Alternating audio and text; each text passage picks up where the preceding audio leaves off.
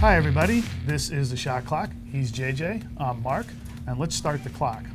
So, in 1978, Herm Edwards, in one play, changed the fortunes of two NFL franchises, the Giants and the Eagles, in a play that's in New York known as the Fumble, and in Philadelphia known as the Miracle in the Meadowlands. And from there, Herm went on to become an NFL head coach uh, in a couple of uh, stops.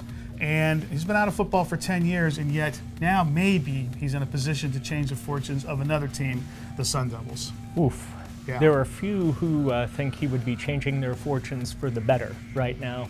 And Doug, our, our colleague Doug Haller, just uh, published a story a little bit ago this morning that talks about just kind of the odd nature of this entire thing, how this has turned into a Herm Edwards media tour. He was on Mike and Mike, he was on Doug and Wolf. If there are two radio hosts in the Valley, he will be there. Uh, so uh, no one really knows what, what to make of this. Sounds like Doug's getting some conflicting reports from boosters too, but what we've heard from the fans is hell no. I can't put my head around whether this is a good idea or not, but I will tell you that Herm Edwards is a great guy. And whether that's good enough to be the next level of coach at ASU, I don't know.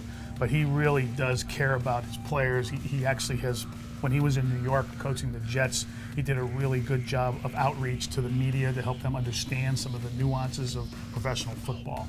So, from that standpoint, I do like the guy. Well, he would need that here. Uh, he would need to do a lot of outreach, both with the media and the fan base, if this thing is going to happen, and he's going to pull it off.